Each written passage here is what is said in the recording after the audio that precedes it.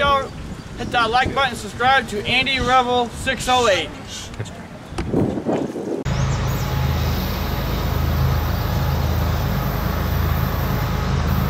Got one coming. He's coming slow. Going hard.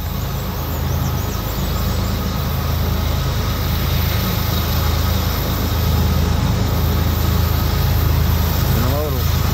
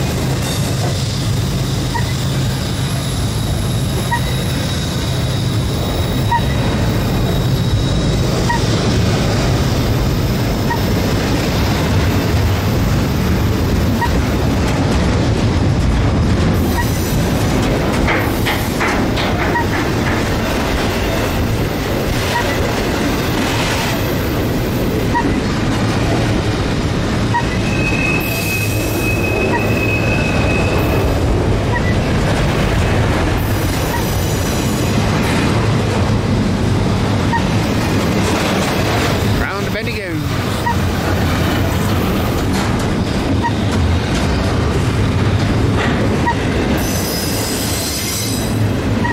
Just came under Keystone uh, Viaduct. Up around that corner where he's going is the uh, Keystone Crossing.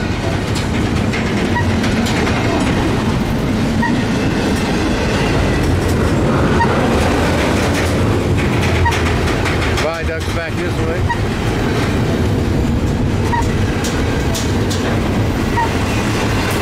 shooting at a new location, so uh, viaduct's not uh, see from here real good, but uh, we're in that area.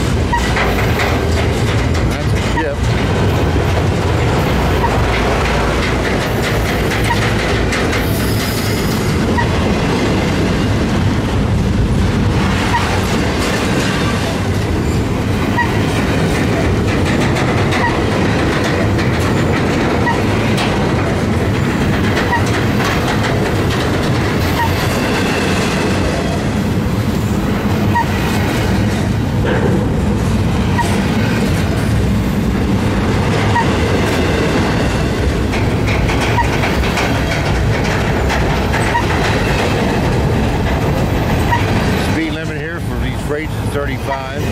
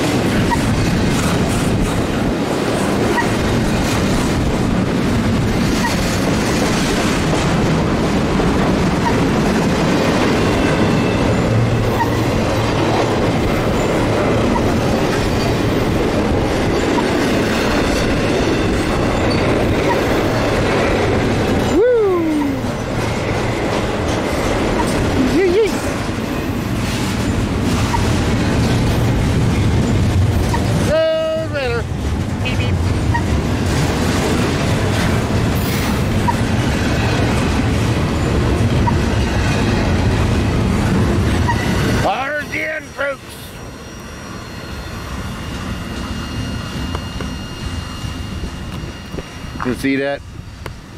Passenger trains through here 45, freight's 35.